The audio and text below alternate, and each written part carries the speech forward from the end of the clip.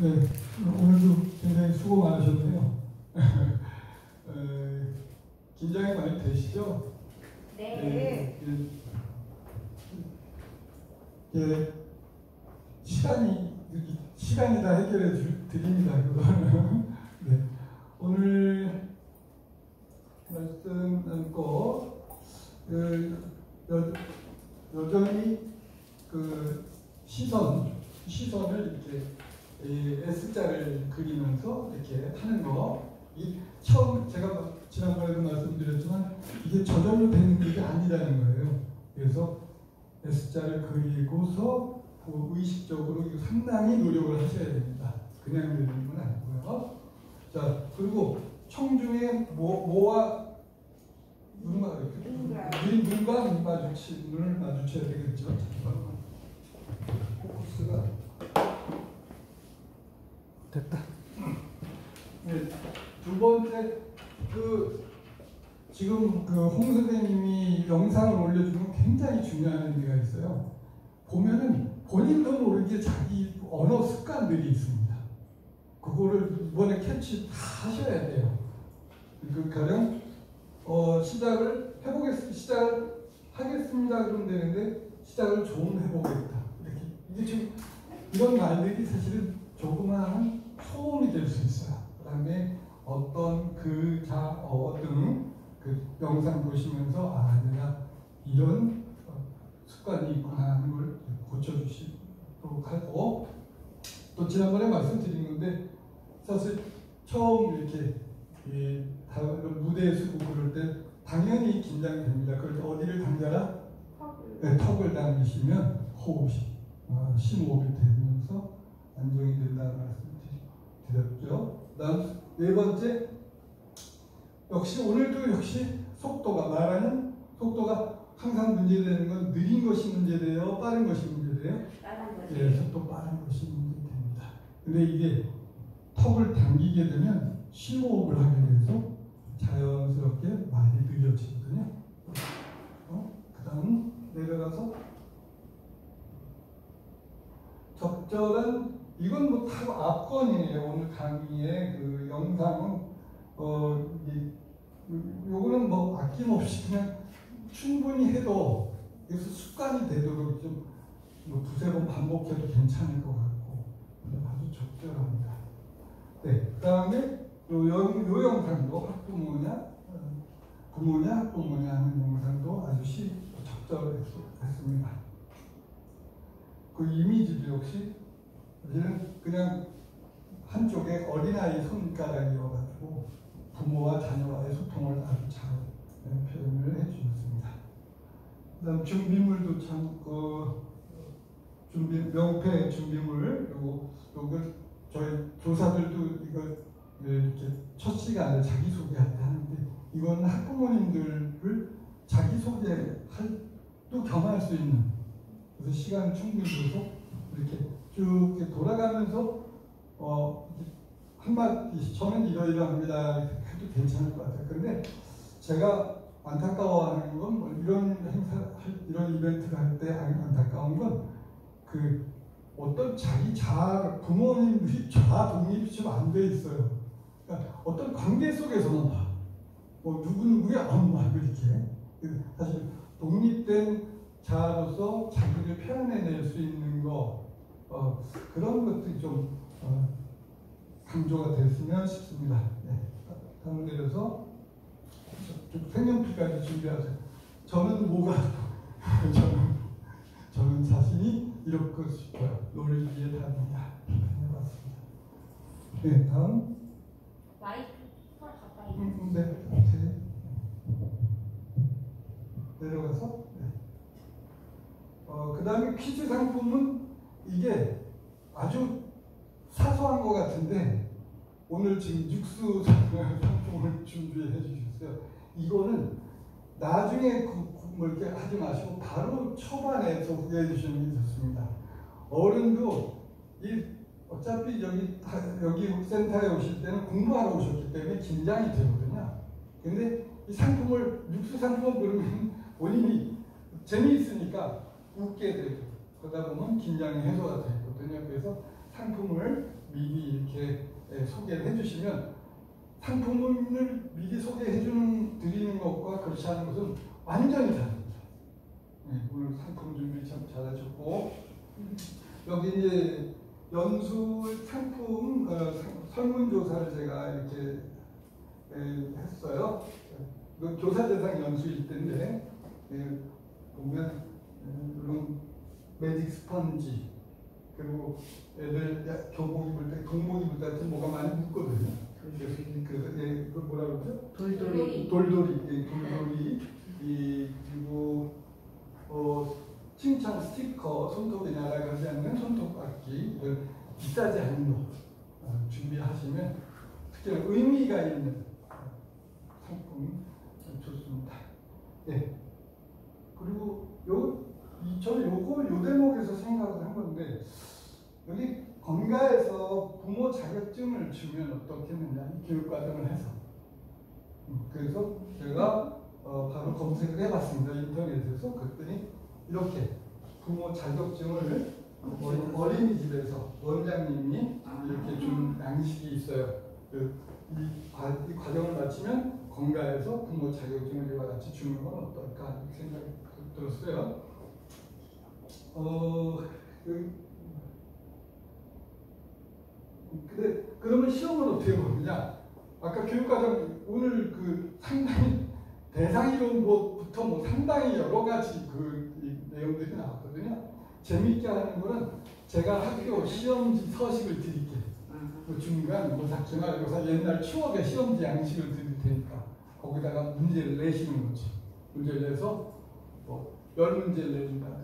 중 60점 이상은 다 합격인 거지 뭐. 그죠? 그, 그렇게 해서 시간이 문제로다.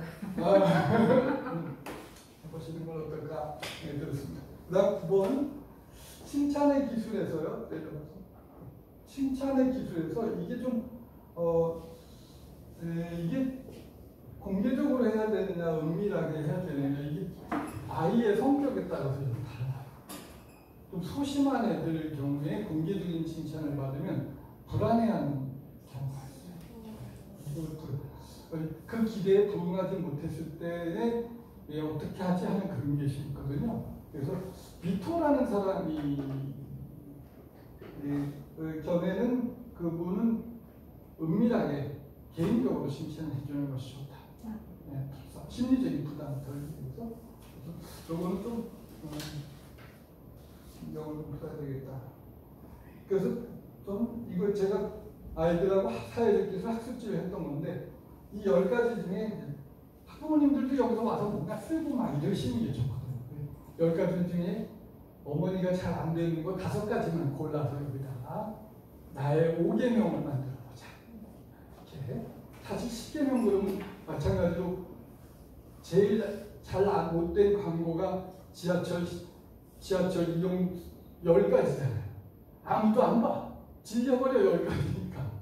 그- 근데 이 여기서 내가 실천하고 집에 자주 가실, 가실 때 여기다가 써서 나의 칭찬 5개명 나는 집에 가서 이렇게 이제 냉장고에다 이렇게 자석으로 붙여서 늘 엄마가 본- 본명하면 본명에서 이걸 실천할 수 있게 그래서 그- 결국은 우리가 어 제가 카톡방을 강의할 때마다 제가 단톡방이 200개가 같아요. 그럼 오지랖도 있지. 강의하면서 왜 그 단톡방을 만들어서 여기 또 이렇게 AS를 하냐? 강의의 목적은 강의 시간에 있지 않죠. 행동의 변화잖아요. 그 변- 변할 때까지 해야 되는 거야.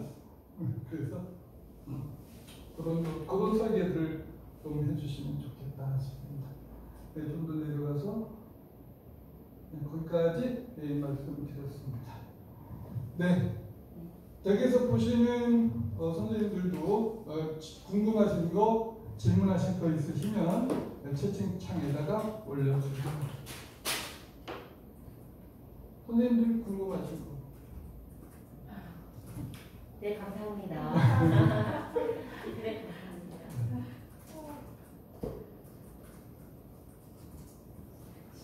아니라고. 어, 그 정도? 어, 예. 절반, 강사 생활 절반 지는 거예요,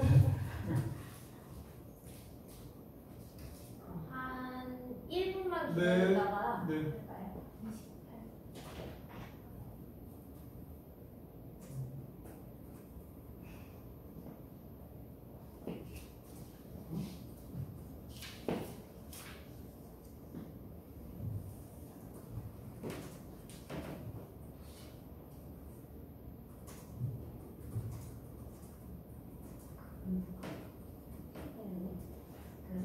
말씀하시는 그 아, 저 질문 하나 들어왔어요. 네, 네. 시장 지금 장은경 원장님께서 네.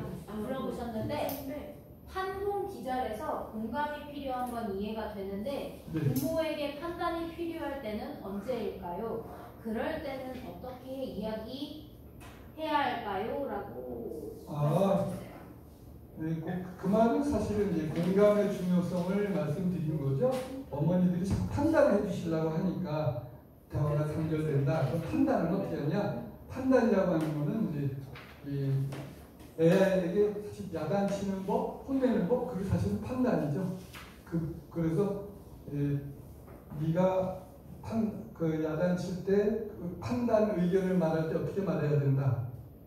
네가 뭐뭐하니 내 마음이 뭐뭐하다 왜냐하면 난 이렇게 표현을 해주면 이게 뭐 판단이 된다 예, 그렇게 그런 취지로 말씀드립니다. 네. 그리고 네, 네. 내용이 너무 좋은데 내용이 많은 것 같다는 생각도 들어서 실제 술먹할 때는 각자에 맞춰서 좀 줄여도 되냐고 말씀하시는데 이 부분은 줄여서 음, 그렇죠. 지금 양이 엄청난 거예요. 이 대학원 대학원생들 3시간 수업 분량이 보니까 그, 그, 좀 어, 줄, 줄일 거 줄이시고 그리고 무엇보다 남 얘기가 남 얘기를 하니까 외워지질 않는다. 남 얘기하면 안 돼요. 사실. 어떻게든 자기 삶과 좀 연관 지어서 그 얘기가 나와야 거기서 기가 뿜뿜 하는 거거든요.